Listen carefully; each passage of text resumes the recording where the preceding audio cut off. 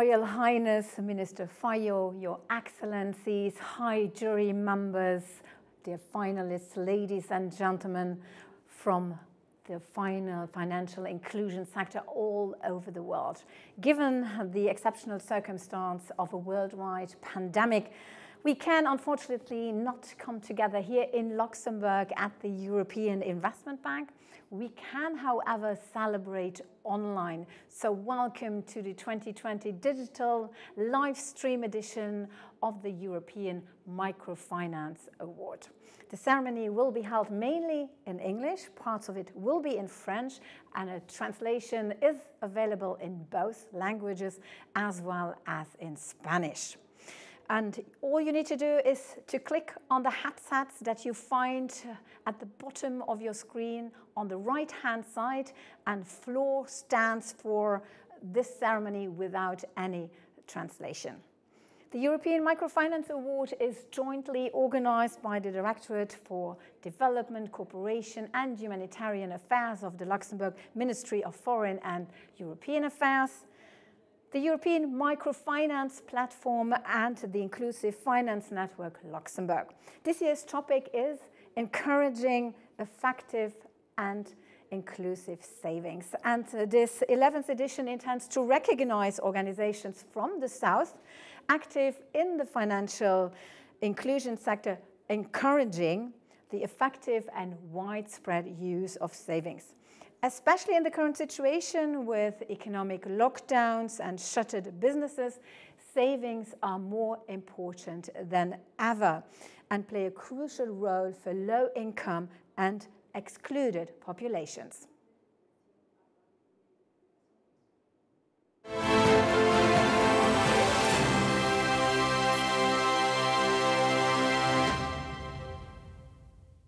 European Microfinance Award is an initiative of uh, the Luxembourg government and the award money of 100,000 euro rewards excellence and innovation in financial inclusion. For the Directorate of Development, Cooperation and Humanitarian Affairs, financial inclusion is an important tool to poverty alleviation. Today's welcoming address is given by Luxembourg's Minister for Development, Cooperation and Humanitarian Affairs, Franz Fayot. And in his speech, he will highlight the importance of creating resilience and the relevance of encouraging savings, especially during the health crisis we are currently facing. Royal Highness, dear Mrs. Pangestu, members of the High Jury, Excellencies, honorable guests, dear friends, the European Microfinance Award and its ceremony represent an important annual event for all of us involved in inclusive finance. It allows us to draw the attention of the larger financial sector, as well as of the general public, to the crucial role that inclusive finance plays in promoting access to finance, one of the major drivers of socio-economic development across the world. As you all know, this year, things are different. While I would have preferred to welcome you in the atrium of the EIB, this year's digital event also allows for a larger participation of the sector, and I'm happy that hundreds of experts and key stakeholders have joined us today. Whereas Luxembourg continues to maintain a generous target of 1% of gross national income for development assistance in these difficult times, it has become clear that traditional grant-based aid will not be sufficient to translate the Sustainable Development Goals into reality. This is where the inclusive finance sector can and should help. Today, faced with a health crisis of unprecedented magnitude, we will have to rebuild the weakened economies in developing countries by creating resilience, but also by providing new opportunities to the financially excluded. As outlined in the coalition agreement of Luxembourg's government, inclusive and innovative finance remains a key priority for us. We consider the financial sector to be a key player with a very important role in implementing the, the SDGs. For almost three decades, our development cooperation has therefore worked collaboratively with the financial sector. We have created an ecosystem that nurtures and supports innovation, which includes the European Microfinance Platform as well as the Inclusive Finance Network, both co-organizers of this event. Beyond these two partners, Luxembourg has grown to become a key center of excellence in inclusive finance, providing targeted support to developing countries. Our ecosystem has recently been enriched by the presence of the Alliance for Financial Inclusion, which opened a representation office in Luxembourg at our House of Microfinance in October. In the future, we will pursue and even strengthen our support to the inclusive and innovative finance sector to ensure that the most vulnerable populations, too often left behind, have access to basic financial services, including savings, in order to strengthen their resilience and enable their active participation in a sustainable economic recovery. Ladies and gentlemen, when we chose the topic of encouraging effective and inclusive savings a year ago, we were aware of its potential. However, we could not have imagined the way in which its relevance would be illustrated by a pandemic which led to social distancing and lockdowns that took an important toll on our economies and thereby also on the entrepreneurs, their families, and their communities around the globe. Over the past year, savings have been critical in providing safety nets to millions of people. Individuals and enterprises without sufficient savings faced financial pressure when economic activ activities were disrupted. And micro, small, and medium enterprises need to be resilient as they represent the backbone of our economies. In these difficult times, inclusive savings have allowed to lessen the impact of the pandemic. I am confident that this year's European Microfinance Award will draw attention to the value of savings as a necessary financial service and create a momentum that will encourage their use for long-term planning and drive women empowerment. If savings products are designed based on the needs of the customers, and are well integrated with other inclusive finance services, trust is created between the customer and the financial service provider. The action of the three finalists of this year's European Microfinance Award on encouraging effective and inclusive savings reflects this. Her Royal Highness, the Grand Duchess, will announce the winner of this year's award in a few minutes. But let me tell you that we have spent a lot of time discussing at the High Jury, and that the decision was not an easy one. The three candidates have done and are doing excellent work, as you will witness in the upcoming films. Ladies and gentlemen, we look forward to welcoming you again in person in Luxembourg for next year's edition. And please let me wish all of you a good Digital European Microfinance Week.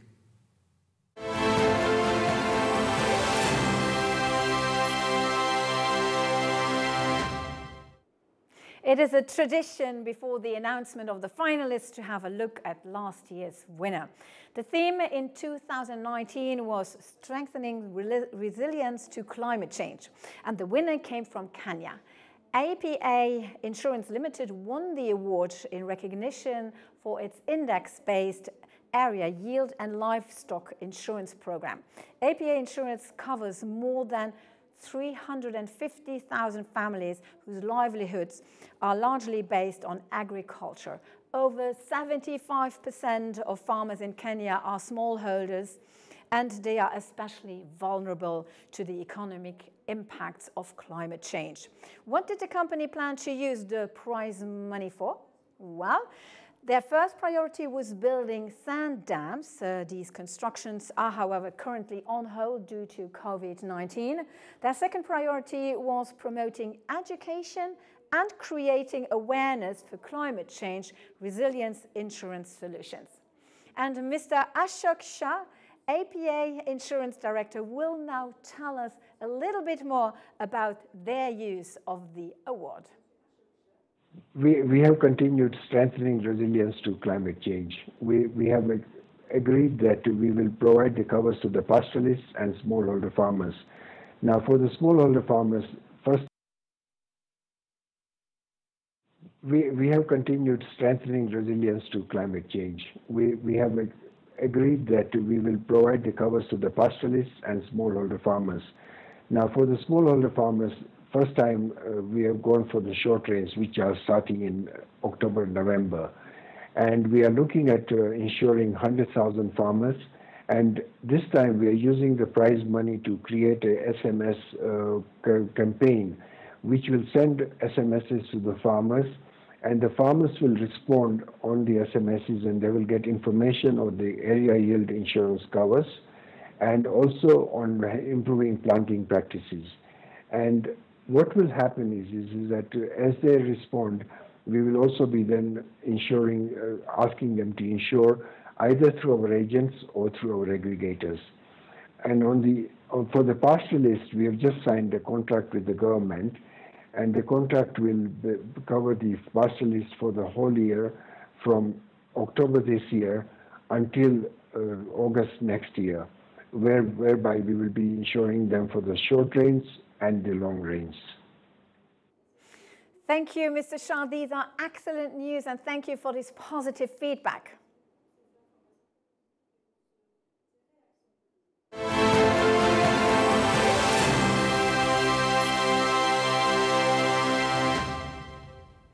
Our keynote speaker today is an Indonesian economist.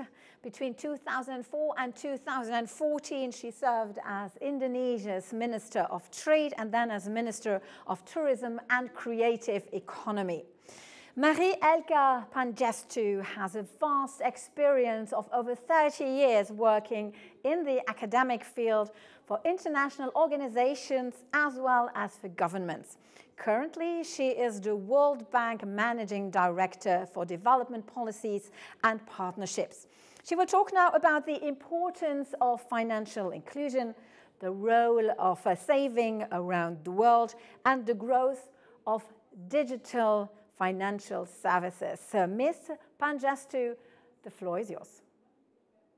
Excellencies, ladies and gentlemen, good day to everyone. I would like to thank the Grand Duchess and Minister Fayot for inviting the World Bank Group to share some thoughts on financial inclusion and the role of savings.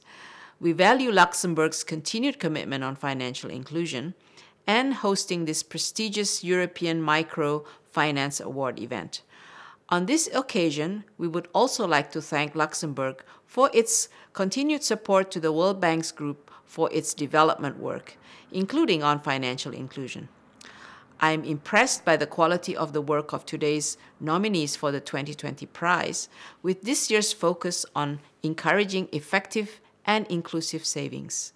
We need a lot of innovations and creative solutions. The finalists put emphasis on doorstep savings collection. This is an important method to facilitate savings for people without digital means. Financial inclusion is a key focus for the World Bank Group, as it is an enabler to reducing poverty and boosting prosperity around the world. Access to reliable savings product at regulated financial institutions help people, especially the poorest, manage fluctuations in income and cope with adversity. The COVID-19 induced global economic shock underscores the importance of having a cushion of savings during periods of hardship. Most people living in extreme poverty or on less than $1.90 per day experience seasonal swings in their earnings. For example, smallholder farmers' income is concentrated during harvest season. The ability to save enables them to smooth consumption and manage large expenses, such as seeds and fertilizer purchases, or school fees at the beginning of a term, or health expenses from an illness. Providing individuals with simple, informal savings technologies can substantially increase investment in preventive health and reduce vulnerability to health shocks. A Kenya study found that providing a safe place to keep money alone leads to an increase in health savings of 66%. So, when we are thinking about financial inclusion, we need to look at a comprehensive suite of products and services, from payments, savings, credit, and insurance, and there is still a lot of work to be done to address these issues. There are significant gaps in developing regions between the proportion of adults who have saved and those who are saving at a financial institution. Savings at formal financial providers are valuable to the poor because they help consumers to strengthen their financial profile, data on savings behaviors, and savings balances, which can then be useful for credit analysis. Limited access to savings products among low income and rural populations create gaps between formal and informal savings. It is also due to the perception among low income individuals that their savings are not large enough to warrant a savings product at a financial institution. Global Findex data show the widest gaps between formal and informal savings are in sub Saharan Africa, where more than half of people reported savings, but only 15% said they saved with a formal financial institution. Our research also shows that women, low income, and rural populations have lower access to saving opportunities at financial institutions. Where we have seen progress in financial inclusion, this has been made possible largely due to digital technologies and mobile phones in particular. Digital financial services have expanded rapidly over the past decade, and we are seeing evidence that the COVID 19 pandemic is accelerating the pace of this development. As people seek ways to keep social distance while ma- maintaining economic activity, and how social protection transfers are actually being facilitated by digital payments. Our joint research with Cambridge University shows that around the world, there is continued commitment of countries to digital financial services and fintech during the COVID 19 crisis. Regulators surveyed also said that they were looking to accelerate the pace of digital innovation in response to the crisis. We see increases in volumes of digital payments, including mobile money, government to person or G2P transfers, and remittances. However, governments could do much more. For example, accelerating the creation of digital ID systems and linking it to current government transfers being made digitally. This could bring 100 million more people into the formal financial system. Technology is helping to reduce costs and increase convenience for millions of people with notable gains in low income countries.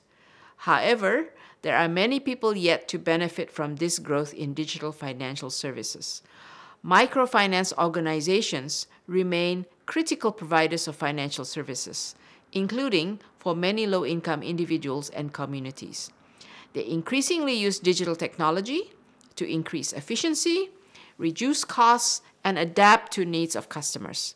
They also operate where the ecosystem and infrastructure necessary for digital financial services are still not avail- available or well developed.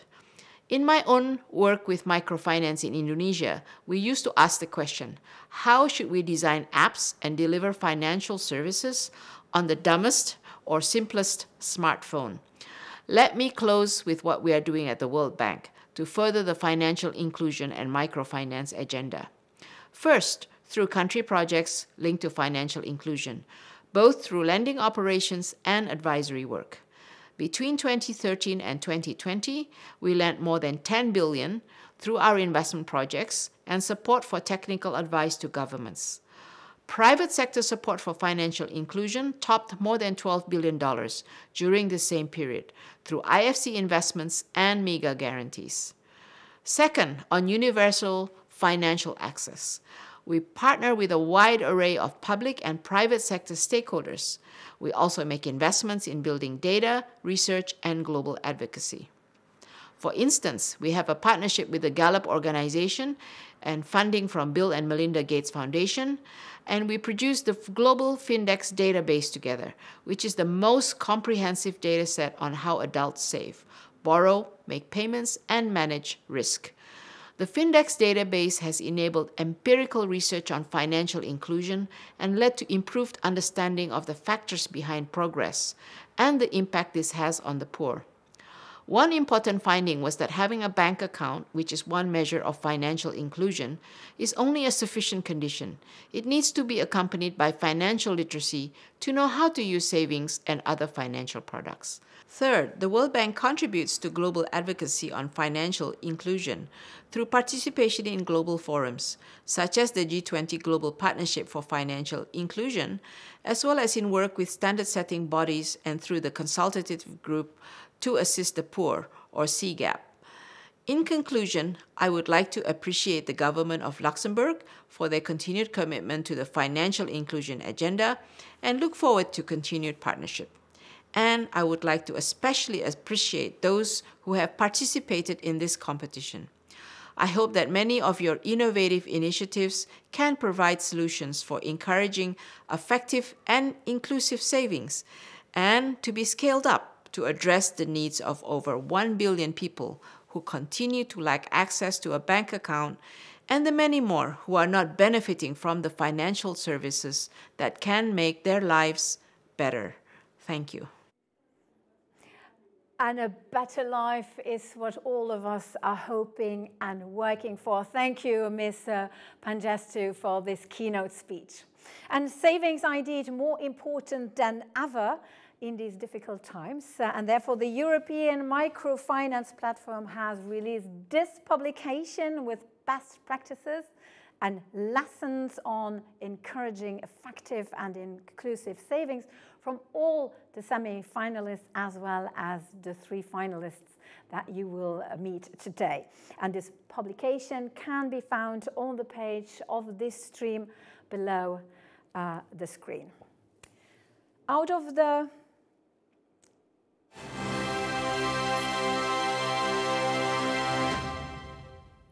And out of 70 applications from 37 countries, three finalists have been chosen by a selection committee to compete for the 100,000 euro award.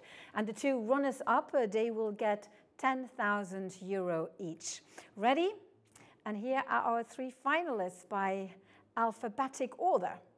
Our first finalist is Busa Gonofa Microfinance from Ethiopia, represented by its general manager, Mr. Tresham Dayaso, selected in recognition for its doorstep deposit collection service. Our second finalist is Muktinath Bikas Bank from Nepal, represented by Mr. Govinda Bahadur Raut, the chief in charge of small and micro banking, selected in recognition for its solidarity-based group savings model. And our third finalist is RENACA from Benin, represented by its general manager, Mr. Dieudonné Ganvo, selected in recognition for its Tontine doorstep services and promotion of savings behavior via community savings, and credit groups. And all three finalists have developed savings programs with tailor-made money collection methods. And I suggest that we will go now live to Ethiopia to our first uh, finalist. Mr. Dayaso, you are the general manager of uh, Busa Gonofa Microfinance. What was your reaction when you heard that your institution were, was among the finalists of uh, this year's European Microfinance Award? Wow, it's just a thrilling experience. It's also an honor to be recognized with this uh, being finalist for this prestigious award. Really, it is a recognition also of the effort that we are doing in terms of reaching low-income groups. And it's also a recognition of the fact that financial, formal financial service providers have actually left out the poor to informal saving mechanisms like deposit collectors and the only, which is very expensive. I think it's really a thrilling moment for me, but also most importantly for our customers because their constraints and barriers have been recognized and I'm extremely happy and thank you. I'm proud of it.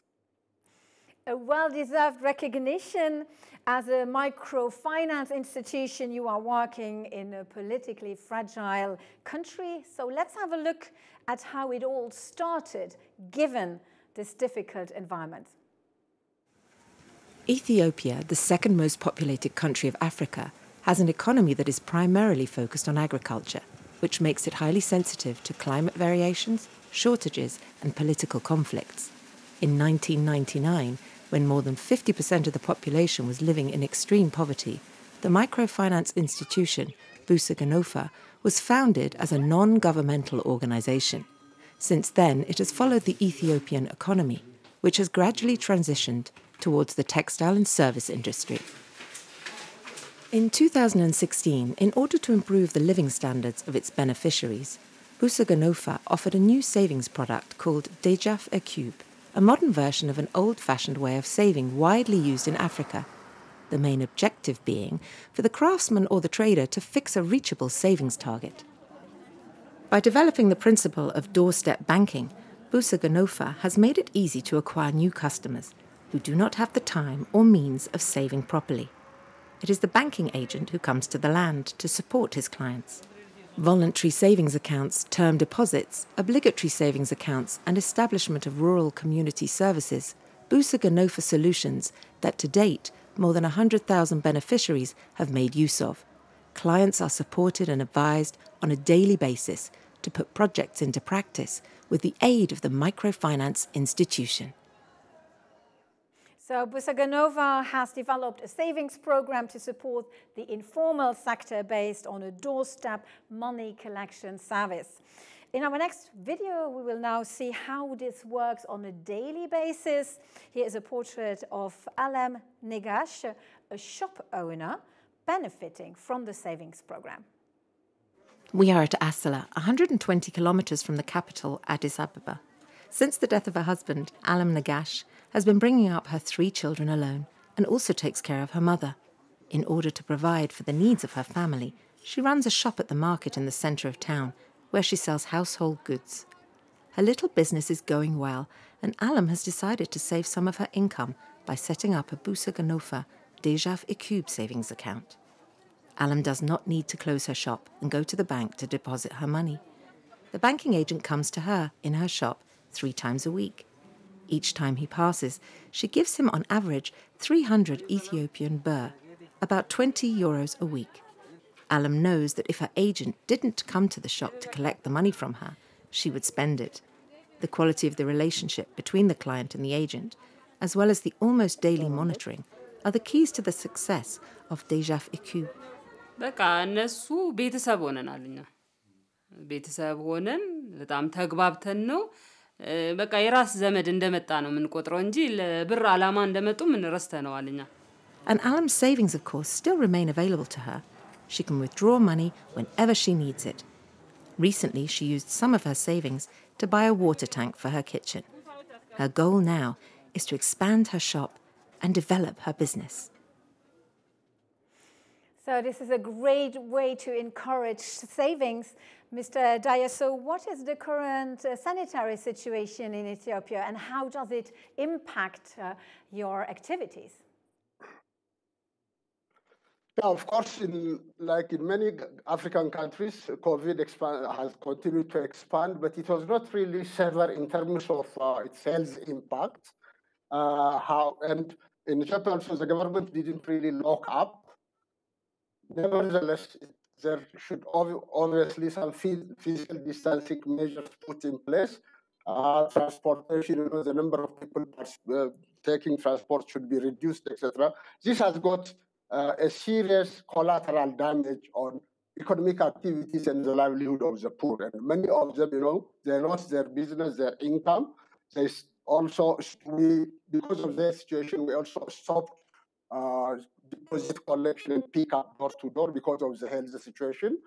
Now, after, between April, after this was between April up to September. Since October, however, life is becoming returning back to normal. People have now restarted savings and also restarted deposit collection. We also continue to provide now the loan service, particularly the deposit collection, is now becoming the a bit back to normal. But still, the economic downturn has affected definitely the income of the uh, low income groups. So that is good news that life goes on. Uh, if Busa Gonofa wins this award, uh, what are your plans? Will the doorstep deposit pickup system remain one of your priorities?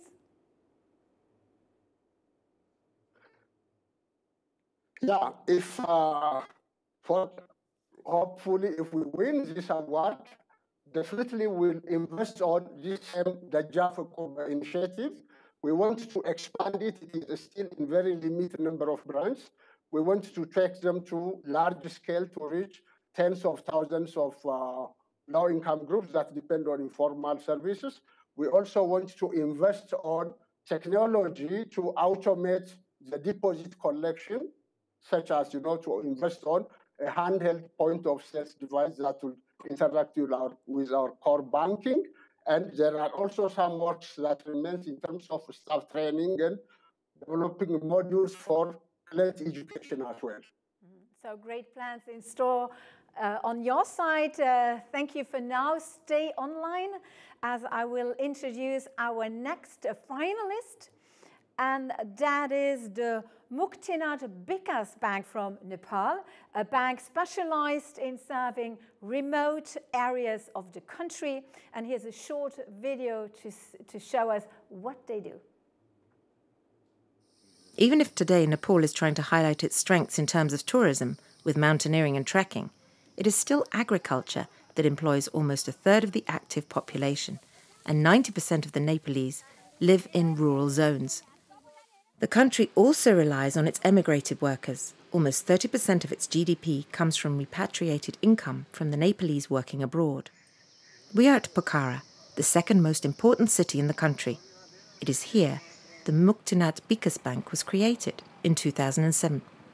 From the beginning, the goal of this traditional bank was to cover the whole territory, especially those zones that were the most remote and difficult to access, like the villages in the mountains, there where no bank was prepared to set itself up. In developing an inclusive branch of its business, Muktinath Bikas Bank specifically targets women in order to offer them access to a large choice of savings products. Retirement, sickness, life insurance, group savings, or personal savings obligatory or voluntary. Thanks to the continued work of the agents in the remote zones to meet their clients, Muktinath Bikas Bank currently has 130,000 small savers. The bank plans to continue its work in terms of education in saving and the digitalization of its services to help the isolated inhabitants even more. And online you can see now Mr. Rout, he's the chief in charge of small and micro banking. We just saw a general presentation of your organization. What was your reaction when you heard uh, that the Muktinath Bikas Bank was selected as a finalist this year? Uh, thank you very much. uh, very good evening and namaste from Nepal. Respected Her Royal Highness, Grand Duchess of Luxembourg, Excellencies, Mr. Franz Luxembourg Minister for Development Cooperation and Humanitarian Affairs, member of juries, delegates, fellow nominees, and the audience from the world of this Microfinance European Microfinance Award 2020. It is a huge honor for Muktinath Bikas Bank to be nominated for this prestigious award. All the hard work and the dedication of my entire organization to serve the need of the bottom of the pyramid from the time of its inception has truly been recognized now. Uh, it has given us even more encouragement to continue in the future with greater force and be more beneficial to the community we serve. I would like to thank our valued customer who have been getting financial services from us. Without their trust and love, we are nothing. The team Muktinath members who travel restlessly to the doorstep of our customers are our uh, are highly appreciated. Tons of thanks goes to uh, jury members who judged us uh, thoroughly. Last but not the least, I would like to thank our all supporters and well-wishers who directly and indirectly always encourages us to reach more and more low-income people and our valued customer. Thank you. We are very to participate in this August organization uh, ceremony. Thank you. Yeah, and I think that uh, trust and love is uh, something that we all, all of us need in these difficult times. Uh, so, and I suggest that we have a look now at how uh, Mukt Tinath Bikas Bank reaches its clients, how you do that. Since the start of its microfinance business, Muktinath Bikas Bank's clientele have been mainly women living far away from large urban areas. Saving through information – this could be the Nepalese bank's motto. Every month, the Muktinath Bikas Bank agent, Manoj, goes to the little village of Kalika, situated in the mountains 200 kilometers from the capital of Kathmandu. The appointments enable the proposal of savings products adapted to each individual. It is also the opportunity for each of these women to take advantage of the home banking services. They can entrust the agent with their savings or withdraw up to 50,000 Nepalese rupees, 350 euros, right here without needing to go to a bank. These appointments also give the agents of Muktinat Bikas Bank the opportunity to pass on free information on how to efficiently manage a household budget or a little business. हामीलाई पनि ल ठिक छ गर्नुभएको रहेछ यस्तै भयो भने जेसो मुक्तिनाथ जहाँ जाँदा पनि मुक्तिनाथबाट चाहिँ गरेको दिदीबहिनीहरूले यति प्रगति गर्नुभयो among these women, Bindu Bujel is today depositing money into her retirement savings plan and into an insurance for the whole family. This woman lives alone with her three children. She manages a little chicken farm and a market garden business. Her husband has been working in Qatar for nine years. He pays into a savings account with his salary from abroad. Thanks to the savings solutions offered by Muktinath Bikas Bank to people working abroad, Bindu would like to expand her breeding business when her husband returns in a couple of years. So we see that this is a good example of women empowerment. Um, what is the impact of the COVID 19 pandemic on your clients and also on your bank's activity? Yeah, it's uh, in Nepal too. The COVID-19 has been uh, hitting economic and health condition of many people. It is guessed that, that now COVID is spread in the community level. Uh, especially low-income people are highly impacted by the pandemic. So far, Nepal has reported more than 215,000 cases and uh, nearly 1,300 death cases till date. Uh, but fortunately, there, there is no any uh, death case recorded up from our uh, client. And uh, in case of our operation, we totally shut down for four months because of countrywide lockdown. Later on, uh, rapid spread, spread of COVID-19 is when government lifted out the lockdown, then the spread of COVID-19 was very high. So we are not uh, far away from the uh, effect of COVID-19. Many of our client and staff has been uh, seen positive cases either in themselves or the, in their family members. Uh, now they have been living in isolation or in quarantine is uh, hampering our daily activities uh, and uh, COVID-19 is uh, come up with great challenges for livelihood of our client, and they have been withdrawing uh, their saving Uh, to maintain their livelihood and daily activities. And uh, the now uh, it, saving is being a means of living in this crisis situation. But on the other other hand, saving is uh, now creating another opportunity to cope with the, this kind of emergencies and this is seen like a more importance of saving even more thank you yeah thank you so we can only all hope uh, for the situation to improve um, Mr. Rout, if you win uh, the European Microfinance Award, what will you use the money for?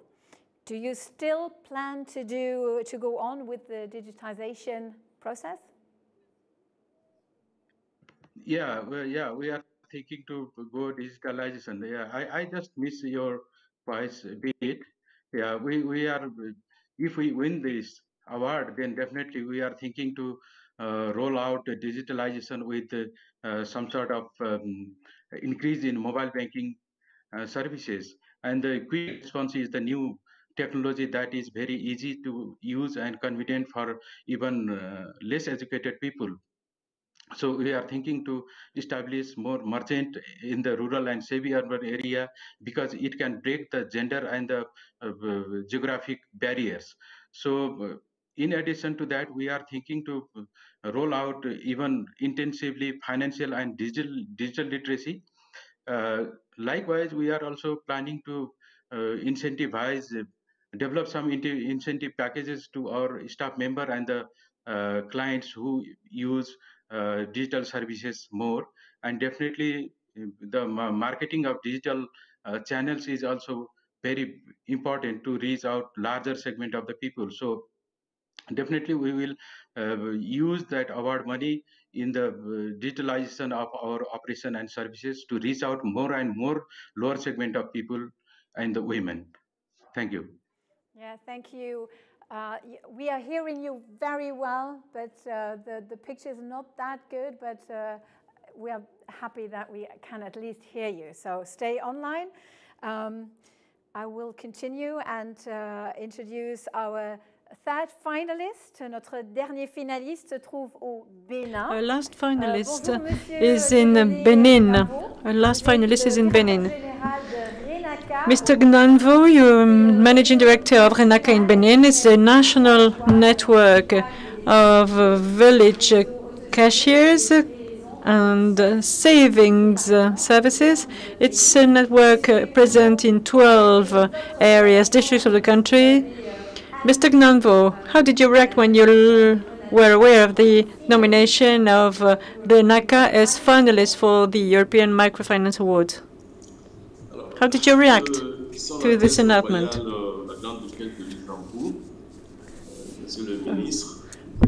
A Royal Highness, Mr. Fayot, dear participants of the grand jury, of the high jury, ladies and gentlemen, of the inclusive finance of Luxembourg, I'd like to tell you that when I heard this information, that announcement, were very glad, very happy. The joy would have also have been greater if I could have attended uh, this ceremony in Luxembourg. So if, thank you very much to all of you for all your work and your support. Thank you for being with us today. Now we're going to see what RENACA proposes uh, to his clients. Benin is a little West African country next to Nigeria. It has 12 million inhabitants. This young, principally rural population earns its income from agriculture, particularly cotton production. It is in Bohicon, 100 kilometers away in the north, that RENACA Benin was established. RENACA is the national network of self-reliant village savings and loan banks. This network, which functions like a cooperative, covers more than half of the territory with more than 263 agents who are mainly women. The institution offers money transfers, loans, local savings, and this with complete confidence. RENACA Benin advises and supports its small entrepreneurs with the aim of helping them to make their businesses profitable. Savings collected at home or at work are used to finance the loans of other members of the cooperative. This network of village banks is one of the most important in Benin. They are among the very few who offer their services to this vulnerable population. Today, 180,000 small independents, mainly women, are taking advantage of the RENACA Benin services.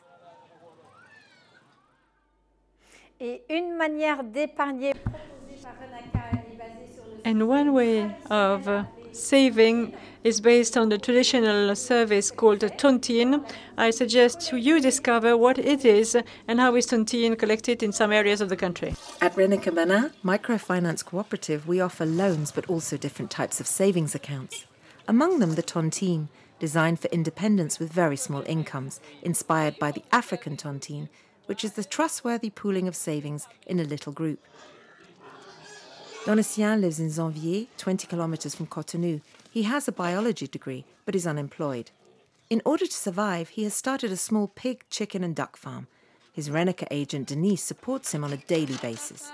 Therefore, it was only natural for him to opt for the tontine. His small savings are collected daily from his home, which saves this new entrepreneur a lot of time. Parce qu'avec cette tontine, ça te permet quand même de mettre de côté au moins ce que tu gagnes de façon quotidienne.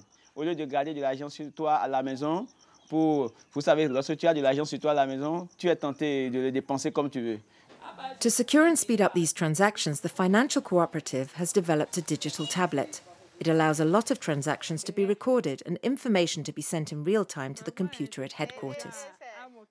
Sylvia, who has started producing natural juice, is already making use of this new financial technology. Chez eux, la sécurité des finances est garantie. J'ai confiance en eux et je, je remets la vie de mon entreprise entre leurs mains. This new way of saving is a suitable solution for most of the craftsmen, breeders, and farmers. More than 20,000 are members. It helps them to have more peace of mind when considering the future of their businesses. Avec des euh, collectes quotidiennes pour certains. With daily collection in some cases. How has COVID 19 impacted the activities of uh, RENACA and its clients? I think that in the first moments of COVID, we suffered a lot. Our activities suffered a lot. In Benin, since uh, last 9th, no 9th November, we had more than 2,000 cases, confirmed cases, 2,500 uh, cured and 43 deceased. The government has taken measures, as in any other countries, uh, to lock down the economic capital where most of our activities converge. So activities of our agents were pretty much reduced because the, class, the clients were scared, very little activities in our agencies, so we've been really severe hit during the third, the three third months of the COVID. And then afterwards, trust returned and activities resumed with credit, savings, and the program of collection has been severely hit during the first months of the COVID. But for now, I think the situation is better. And if RENACA wins the prize today, you mentioned in your application that you wanted to invest in the development of this network. You would like to set up in departments of the country which is still not served by this uh, network. Is it still a priority for you? Despite the situation? Well, yes, it's our priority number one, because without digitization, we cannot secure this activity. As you see, when someone doesn't use an application in real time, when information doesn't reach our agencies, well, it opens the, the door to any kind of risks. So we will continue working on digitization, and it requires more investments in new areas. So we will have to hire new agents who will need new material to do their job properly. And as you have understood in our videos, we need to buy more tablets to allow these agents to work on the field. So you will focus on digitization. Thank you very much, Mr. Gnanvo. Finalists uh, for your input and insights. Uh, we will see you in a bit, so be prepared for the announcement of the winner in a few minutes. And this trophy here will be sent out to the winner together with the financial reward of 100,000 euros. And a few words now first on the members uh, of the high jury and on the selection process, because it is the high jury that selects the winner among the three finalists, and it is composed of national and international experts in financial inclusion, practitioners, high-level political and public figures, and last year's winner. And the members of this year's high jury are Minister Franz Fayot, Luxembourg's Minister for Development, Cooperation and Humanitarian Affairs that you've met before. Mr. Olivier Edelman, head of the microfinance unit from the European Investment Bank. Mr. Michel Maquil, Chairman of the Inclusive Finance Network, Ms. Elizabeth Rhyne, former Managing Director of the Center for Financial Inclusion, Professor Dr. Hans-Dieter Seibel from the University of Cologne, Mr. Ashok Shah, Director of APA Insurance Limited, and Her Royal Highness, the Grand Duchess of Luxembourg, who chaired the High Jury. And we are very honored that Her Royal Highness, the Grand Duchess of Luxembourg, will announce this year's winner. But before that, here's an important personal message from the Grand Duchess of Luxembourg. Dear friends of microfinance, it is with great pleasure that I stand before you today to announce the winner of the 11th European Microfinance Award. This 2020 edition, with the theme Encouraging Effective and Inclusive Savings, has received many innovative and varied candidacies. The high number of applications testifies to the ever increasing interest in this economic model, which puts human values, ethics, and morality first. But it also shows that attitudes are changing. More and more people want to make investments that are socially responsible. This year, with the ongoing pandemic, it is more pertinent than ever to think about how to facilitate the processes of saving money as the risks of falling into extreme poverty, unfortunately, increase for millions of vulnerable people. Although the health crisis is not over yet, I believe in the capacity of these men and women. I believe in the strength of their resilience. And I believe, above all, in hope and solidarity.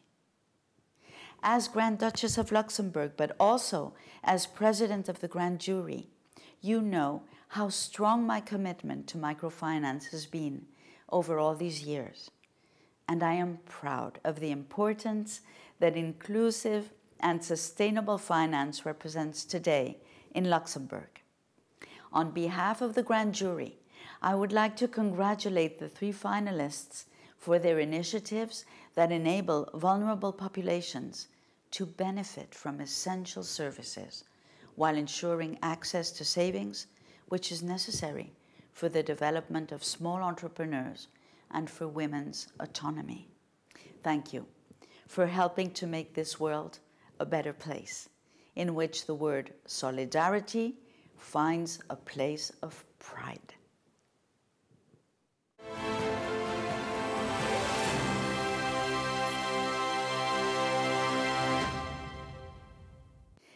Ladies and gentlemen, there is no need to make you wait any longer. It's time to announce this year's grand winner for its adapted model of collective and solidarity savings that encourages positive savings.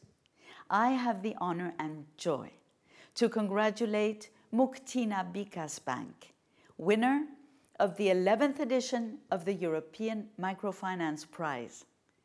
I sincerely hope this prize of 100,000 euros will allow you to strengthen the digital dimension of your bank. Congratulations again to the finalists of this 2020 edition. And I see a very, very happy face in Nepal. Congratulations uh, to the winner of the 2020 edition of the European Microfinance Award, the Muktinath Bikas Bank from Nepal. Congratulations to you, Mr. Raut. So you yeah, will receive this much. trophy. Did you expect to win today? Yes.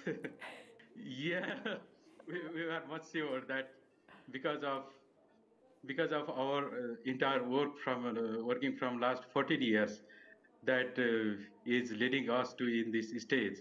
Definitely, we are very much happy and proud to be receive this European Microfinance Award of 2020.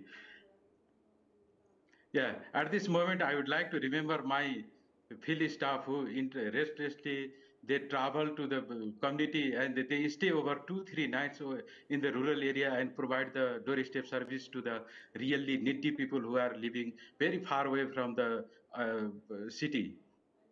So I'd like to dedicate this award to those my field staff who have been working very hard and entire Muktinath Bikas Bank team and our board members who, who has been uh, always encouraging small and micro banking team to move to the targeted people. And I, and I would also like to invite all the viewers uh, around the globe to visit Nepal and visit Muktinath Bikas Bank and encourage even more us to uh, do even better way. And we'd, we'd be more happy to welcome all the visitors from the globe to see our program and the impact what we have been uh, left in the community level. Thank you very much. And I would love to come and visit you. And I think uh, all the viewers around the globe who are assisting uh, this ceremony would certainly yeah. also enjoy coming and seeing you. So thank you very much. Yeah. Enjoy yeah. your prize, your achievement. Yeah. Well done. Yeah. Yeah, thank you very much to jury team who has been uh, judged very thoroughly and uh, give us this opportunity to reach in this level. Thank you all. Thank you very much.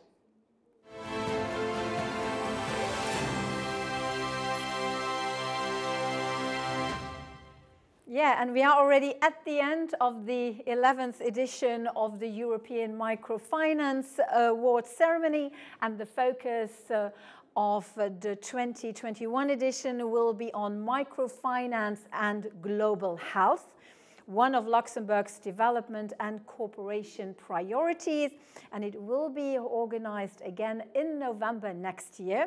So thank you all for your attention. Congratulations again to our winner and to our two runners-up. Enjoy the rest of your day, and I hope that we can all meet and see each other next year in person at the ceremony at the European Investment Bank.